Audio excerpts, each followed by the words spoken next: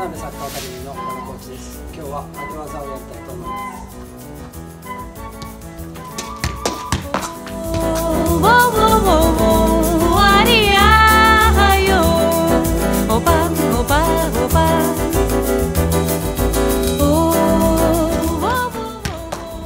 はい、こちらの技ですが、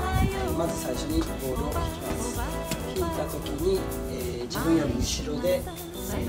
引いた足のボールの下にすくい上げて、えー逆自分の立ち足の逆からボールを上げてくる。